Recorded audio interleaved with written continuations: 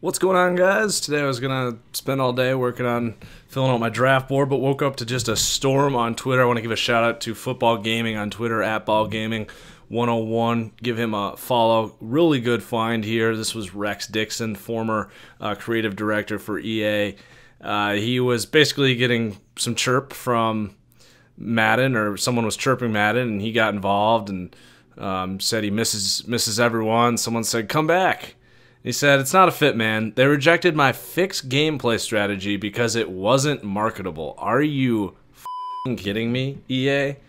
This storm of angry fans with how bad the gameplay has been in Madden 19 and how things have been taking a step back. I just released a video talking about how receivers don't even go for the ball anymore.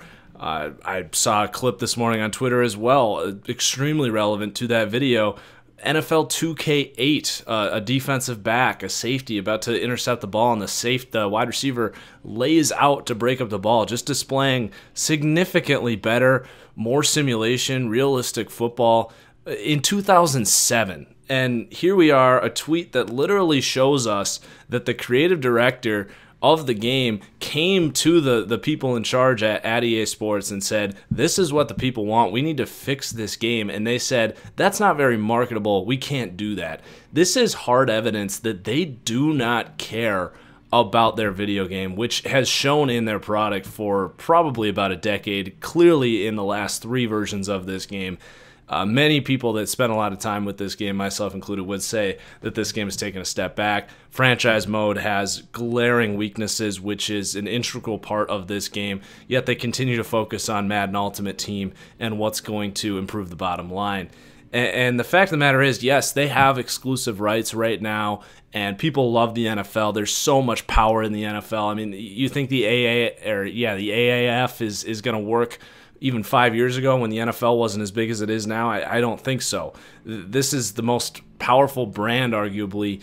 Uh, in the country, at least from an entertainment standpoint. So people are going to buy this game. But the fact of the matter is, karma is a bitch. And if you don't care about your product, there are other companies out there working on games. We have 2K who used to make games.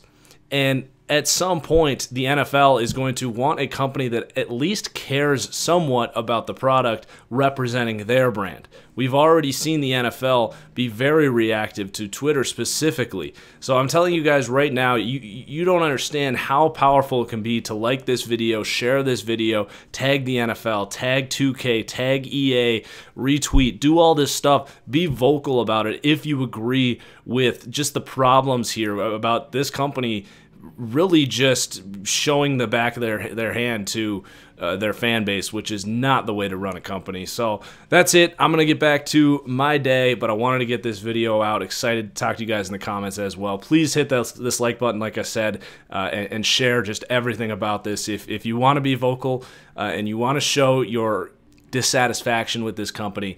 Uh, it's not going to happen if you just sit there and hit like on a tweet. You gotta you gotta be a little progressive thinking and, and really share your thoughts. So uh, that's my my motivational uh, fix Madden please video of the day. Uh, I know I've been having a lot of these lately. Uh, it's just something that's really been been bothering me lately. So uh, I hope you guys are, are with me on this. So cheers as always. We'll see you later.